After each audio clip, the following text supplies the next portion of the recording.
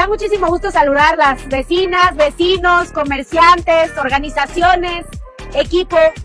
Hace unos meses nos comprometimos y dijimos que el cambio de verdad llegaría. Hoy puedo decirles con gusto y con mucho orgullo que el cambio es una realidad en Cuauhtémoc.